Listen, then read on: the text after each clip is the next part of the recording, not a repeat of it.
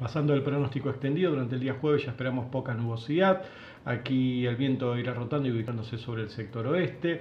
Eh, la temperatura mínima descenderá un poquito más por la poca presencia de nubosidad, ubicándose en los 17 grados, pero a la vez comienza a ascender la temperatura máxima, llegando ya a los 32 grados. O sea, volvemos a hablar de ambiente caluroso en horas de la tarde.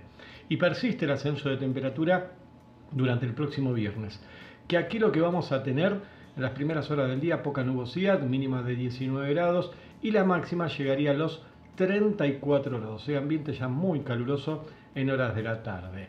A partir de la tarde también lo que vamos a ir teniendo es un incremento de nubosidad hasta llegar un viernes en la noche con cielo nublado. Por el momento, sin chances de lluvia. Sí, donde esperamos precipitaciones es en la primera parte del día jueves, jueves que tendrá inestabilidad Existe una baja probabilidad de precipitaciones en forma aisladas. Si se dan estas precipitaciones, el acumulado de lluvia no va a ser importante. La mínima del día será de 21 grados y una máxima de 32, con vientos leves a moderados del sector este. Atento, que la inestabilidad no se retira del todo.